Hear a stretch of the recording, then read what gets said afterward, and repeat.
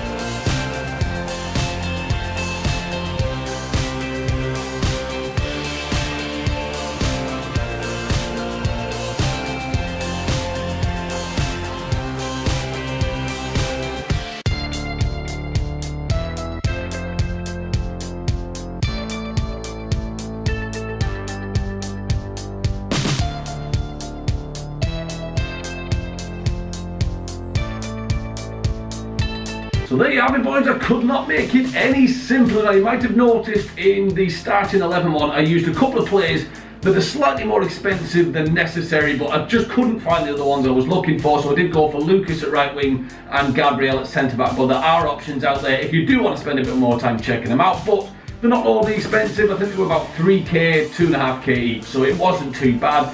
Challenge complete.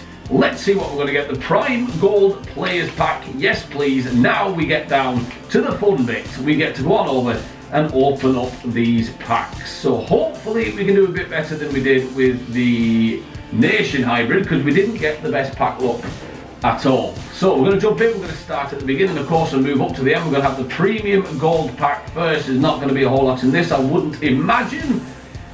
No, I was quite correct. That is horrendous, but that was the worst pack we've got. It's only going to get better from here on out, so we shall just stick those in the club and move on. We do get a contract pack. Thank you. Right, Jumbo Premium Gold Pack. We've got a couple of these. Come on, baby. Give me something delightful. It's not, it is a rare player, but it's not going to be anything to write home to your grannies about. We get a Costa. Yeah. Some people say these squad building challenges are so worth it, others say they're a load of shite. and I'm leading towards a load of shite. Hopefully the pack look will improve before the end of the video. Right, we'll get rid of this Jumbo, Jumbo Premium Gold Pack. It's a big ass pack, but I'm on about the player packs. We'll move on to those shortly. That's a bigger player. That's slightly better. Is it Sokratis? It is. It is an 84 rated. Okay, that's not bad. I'll take it. It's an improvement, and we've got the best packs yet to come.